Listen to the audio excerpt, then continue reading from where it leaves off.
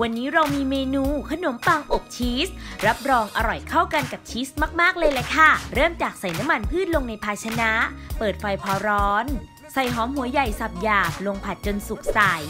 จากนั้นใส่เห็ดฟางหั่นเป็นชิ้นลงผัดจนสุกปรุงรสด้วยเกลือป่นเสริมไอโอดีน และพริกไทยป่น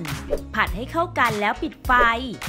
เทใส่ภาชนะพักไว้ให้เย็น จากนั้นใส่สลัดครีมตรามอลลี่ เนื้อเนียนละเอียดเป็นมันเงา น่ารับประทาน ลงเคล้าให้เข้ากันแล้วพักไว้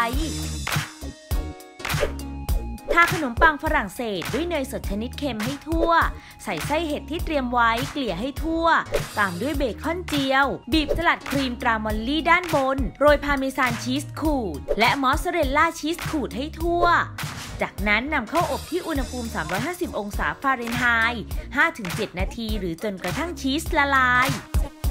จัดขนมปังอบชีสใส่ภาชนะ พร้อมเสิร์ฟความอร่อยแล้วล่ะค่ะ กับเมนูขนมปังอบชีส